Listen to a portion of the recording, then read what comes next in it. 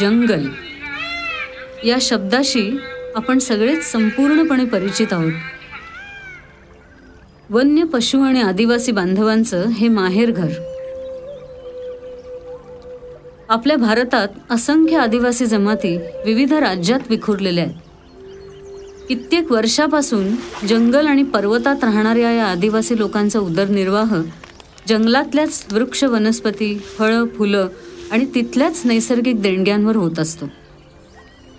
जिवंत राहण्यासाठी पोटातली आग जशी मनुष्य प्राण्यांना सतावते अगदी तशीच आणि तितक्याच तीव्रतेने ती वन्यजीवांनाही तेवढीच त्रास देते.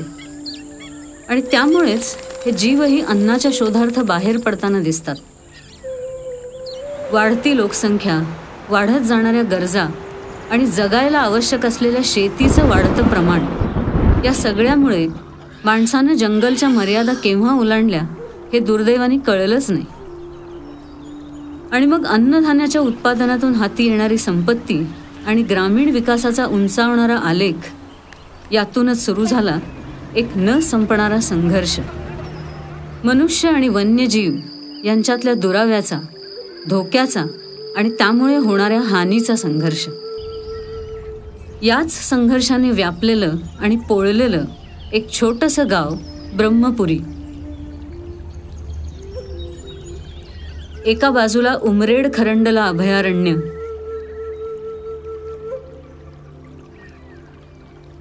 दुसऱ्या बाजूला ताडोबा अंधारी.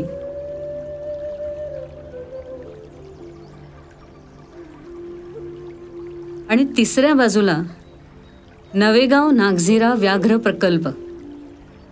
या तिन्ही सुप्रसिद्ध जंगलांना जोडणारं सामायिक परिसर क्षेत्र म्हणजे तालुक्याचं हे गाव ब्रह्मपुरी. ब्रह्मपुरी जर वन विभागाचा तुम्ही नकाशा बघाल तर ब्र ब्रह्मपुरी हा म एक कॉरिडॉर आहे. ताडोबा अंधारी व्याघ्र व्याघ्र प्रकल्पातनं ज्यावेळेला बफर झोनमधनं टायगर मूव्ह होतो तर तो येतो सिंदेवाई नागभीड तळोदी. आणि तिथनं मूव्ह झाल्यावर दक्षिण आणि उत्तर अशा रेंजेस आहेत. की त्यामध्ये त्यामधनं त्यांना क्रॉस होऊन तिकडे नवेगाव नागझिऱ्याला जावं लागतं. आणि उत्तरमधून आणि नागभीडमधून मूव्ह होऊन त्यांना पवनी मार्गे करांला पडतं. म्हणजे तिकडे करांला अभयारण्य एका बाजूला नवेगाव नागझिरा आणि एका बाजूला ताडोबा अंधारी अशा वास्तव्यामुळे आमचं ब्रह्मपुरी जे आहे हे टायगरचं कॉरिडॉर बनलेलं आहे. नागपूर चंद्रपूरपासून शंभर सव्वाशे किलोमीटर अंतरावर असल्यामुळे रेल्वे आणि महामार्ग दोन्हीला जवळ असलेलं लहान मोठ्या खेड्यांनी आणि आदिवासी पाड्यांनी वेढलेलं हिरव्या गार शेतीने संपन्न आणि जंगलांच्या अस्तित्वामुळे वन्य प्राण्यांची रेलचेल असलेलं हे ब्रह्मपुरी. फक्त जंगलांच्या संरक्षण आणि देखभालीसाठीच नाही तर वन्य प्राणी आणि माणूस यांच्या संघर्षाला कमी करण्यासाठी वन विभागाच्या कार्यालयाची सक्षम यंत्रणा इथे प्रत्येक ठिकाणी कार्यरत आहे. वाघ आणि बिबट्यांसारखे मांसाहारी वन्य पशु आणि हरिण चितळांसारख्या शाकाहारी प्राण्यांची गणती करणं आसपासच्या मनुष्यवस्तीला जंगलांजवळ जाण्यापासून रोखणं त्यांना जंगलांच्या सीमा आणि जंगलांचे कायदे समजावून सांगणं या कामांमध्ये वन खात्यातील अधिकारी नेहमीच प्रचंड व्यस्त असतात. भक्ष्याच्या शोधार्थ वाघ आणि बिबटे यांचा या परिसरात नेहमीच वावर असतो. आणि जंगलांच्या जवळजवळ येऊन स्थिरावलेली मनुष्यवस्ती ही तर त्यांच्या शिकारीसाठी अतिशय मोक्याची जागा. कधी एखादी गाय किंवा बैल तर कधी बकऱ्या आणि काही वेळा अगदी मनुष्य प्राणीसुद्धा अगदी सहजतेनं यांचं भक्ष्य बनण्याची शक्यता या परिसरात खूप जास्त असते. आणि हीच अत्यंत महत्त्वाची गोष्ट वन विभागाला कसोशीने सांभाळावी लागते. मनुष्य वन्यजीव संघर्ष ही जी समस्या ब्रह्मपुरी विभाग विभागामध्ये प्रामुख्यानं आहे त्याचं मुख्य कारण हे आहे की गावांची असलेली संख्या आणि ओव्हरऑल टायगर पॉप्युलेशन तर ह्याच्यामुळं टायगर प्लस लेपर्ड तर ह्याच्यामुळं human interaction to wildlife interaction ह्या ह्याची प्रोबॅबिलिटी जास्त आहे. आणि साधारण ह्या पट्ट्याचं स्वरूप असं आहे की शेतजमीनही आहे गावंही आहेत रेल्वे रूळ आहेत कॅनॉलचे मोठे मोठे प्रकल्प आहेत रस्ते आहेत. सो अशा पद्धतीनं एकूण वाघाच्या आगमनासाठी किंवा वाघाच्या प्रवासासाठी अडथळा निर्माण होत असल्यामुळं इथं वन्यजीव आणि मनुष्य संघर्ष होतात. तसेच वाघासोबत इथं बिबट्याचंही प्रमाण आहे. कारण वन विभागाने निश्चित केलेल्या जंगलांच्या सीमा मनुष्य प्राणी समजेल पण वन्य पशु कसा समजेल?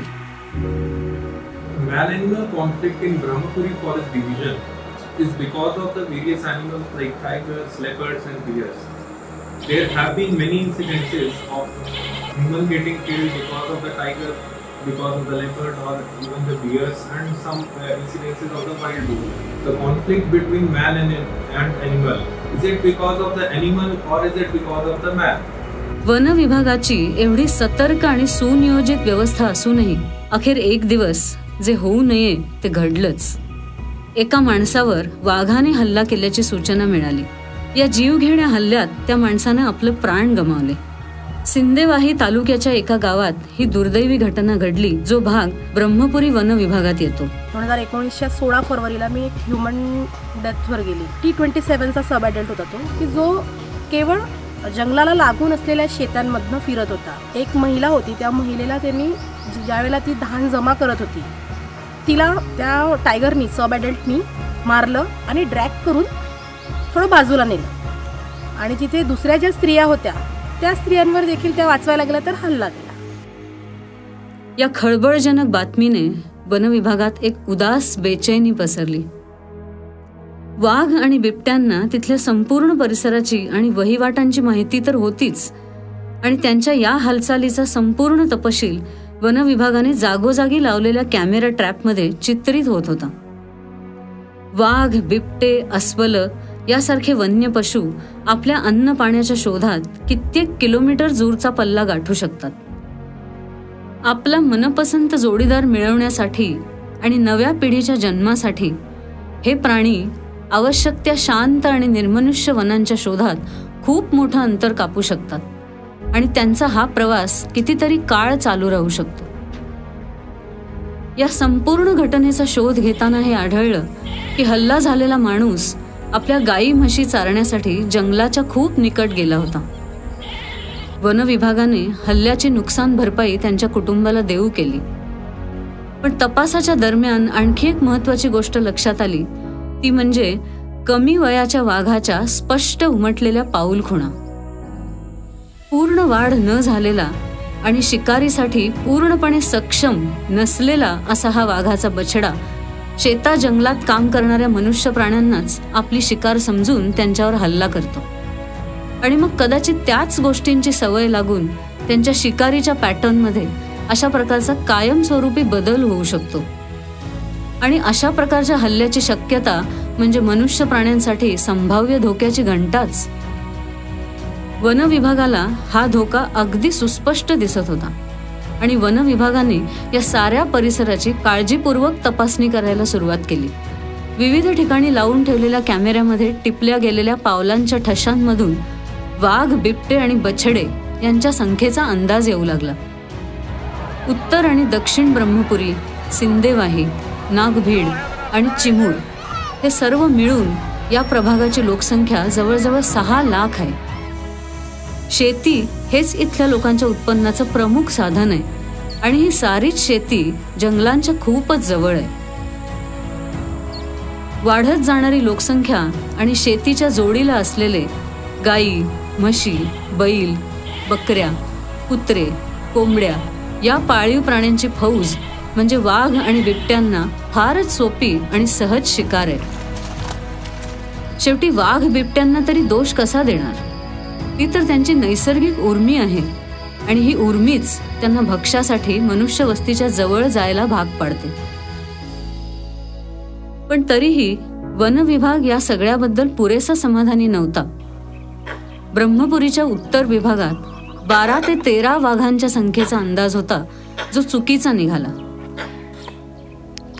प्रत्यक्षात तिथे पन्नास ते साठ प्रौढ वाघ साधारण एकवीस तरुण वाघ आणि वीस पेक्षाही जास्त बछडे यांचं अस्तित्व आढळून आलं. म्हणून वन विभागाने सर्वांच्या हितासंरक्षणासाठी आणि हा संघर्ष थांबवण्यासाठी कुठल्याही वन्य पशूंना त्रास न होऊ देता एक अभिनव जनजागृती कार्यक्रम हाती घेतला.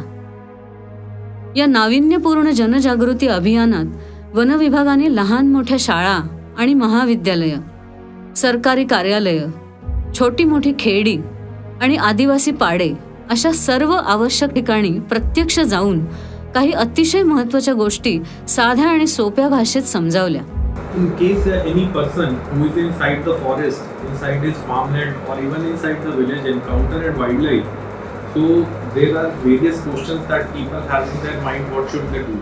वाघ आणि बिबटे कुठेही दिसले तरी सर्वप्रथम वन विभागाला माहिती देणं त्यांचा कधीही पाठलाग न करणं त्यांच्यापासून लपून राहण्यासाठी जमिनीवर झोपून न राहणं खाली न वाकणं त्यांच्या जाण्या येण्याचा रस्ता न अडवणं हे खूप महत्वाचं आहे. हे अंमलात आणलं नाही तर माणसांना बघून बुजलेला घाबरलेला वन्य पशु अशा वेळी हल्ला करण्याची दाट शक्यता असते. वाघ बिबट्यांचे बछडे दिसल्यानंतर त्यांना त्यांच्या आईकडे परत सोडण्यासाठी वन विभागाची मदत करणं हे आपलं प्रथम कर्तव्य आहे.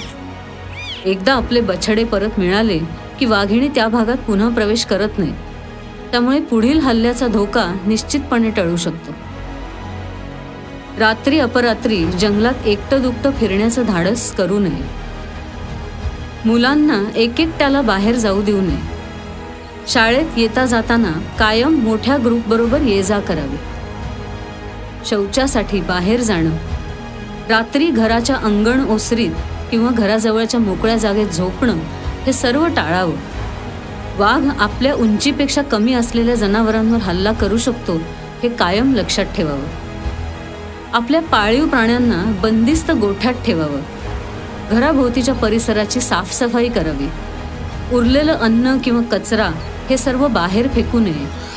भटकी कुत्री डुक्कर उंदीर या प्राण्यांना घराच्या जवळपास मोकळं वावरू देऊ नये. वाघ त्यांची शिकार करण्याच्या निमित्ताने हल्ला करू शकतात याचं भान ठेवावं. कुठलाही वन्य पशु दिसल्याची किंवा त्यांनी कुणावर हल्ला केल्याची अफवा पसरवू नये आणि ऐकीव गोष्टींवर विश्वास ठेवू नये. अशा अफवा घबराट पसरवण्यास मदत करतात. तेंदूपत्ता आणि मोहाची फुलं वेचायला जंगलात जाताना लहान मुलांना सोबत नेऊ नये. जंगलमध्ये गस्त करताना मोहा कलेक्शन करणाऱ्या लोकांना सांगतो की त्या लोकांना ग्रुपने मोवेचा मोह कलेक्शन करा.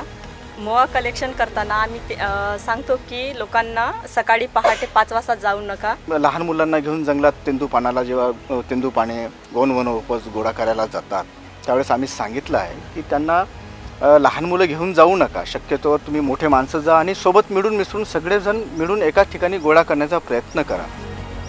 आपली शिदोरी बरोबर घेऊन सगळ्यांबरोबर एकत्र जावं. जर कुठे एकट्याने जाण्याची वेळ आलीच तर मोबाईलचा टॉर्च लावून आणि रेडिओवर गाणी लावून हातातल्या काठीचा वरचेवर आवाज करत चालावं ज्यामुळे वन्य पशु लांब राहतात.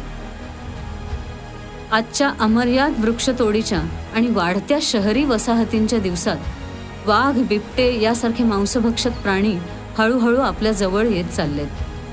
त्यांच्या निवाऱ्याच्या ठिकाणाच्या आसपास आढळणारा माणसांचा वावर त्यांना आणि आपल्यालाही खूपच घातक ठरलाय. वेळ पडली तर आपलं राहतं ठिकाण सोडून नव्या जागेचा शोध घेणं हे वन्यजीवांसाठी अतिशय नैसर्गिक आहे. शहर असो अथवा गाव आपल्यासाठी सुरक्षित स्थळ शोधणं हाच त्यांचा उद्देश असतो. ज्याच्यासाठी ते कुठल्याही ठिकाणी जाऊ शकतात. मनुष्य प्राण्यावर हल्ला करणं हा त्यांचा हेतू नसून त्यांची एकमेव प्रेरणा फक्त अन्नाचा आणि सुरक्षित निवाऱ्याचा शोध एवढीच असते. हे प्राणी वन्य असले तरी स्वभावत लाजाळू असून कारणाशिवाय आपणहून कुणालाही इजा करण्याची त्यांची कधीच इच्छा नसते. पण हे वन्य जीव जरी भयंकर असले तरी ते अत्यंत रुबाबदार आणि देखणे दिसत असल्यामुळे त्यांना पाहण्याची अनावर इच्छा आपण कधीच आवरू शकत नाही. आणि मग त्यातूनच लोकांची गर्दी वाढत जाते. गर्दीला घाबरलेले हे पशु मग कशाही आणि कुठल्याही प्रकारे तिथून निसटून जाण्यासाठी आपली सर्व ताकद पणाला लावतात. खरं तर त्यांच्या जागेवर वहिवाटीवर शांत आणि निसर्गपूरक आयुष्याच्या जवळ आज माणूसच पोचलाय. आणि त्यातूनच हा अपरिहार्य संघर्ष उभा राहिलाय. We think that this conflict is because of the competition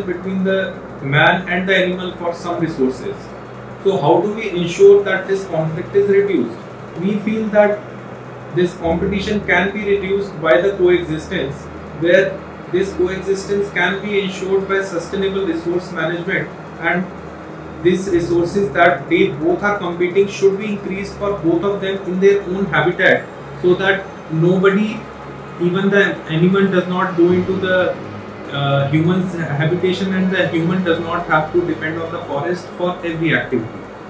We at the forest department are just the custodians of the wildlife and the forest on the behalf of the people.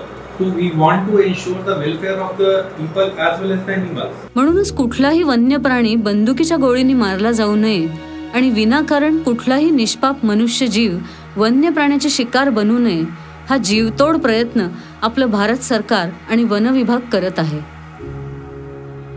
या प्रयत्नाला आपण सलाम करूया आणि त्याला हातभार लावण्यासाठी थोडा तरी प्रयत्न करूया. अगदी आजपासूनच आपल्या आणि वन्यजीवांच्याही रक्षणासाठी.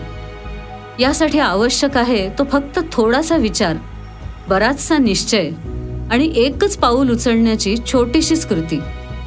तुमची आमची आणि आपल्या सर्वांचीच. जरूर विचार करा.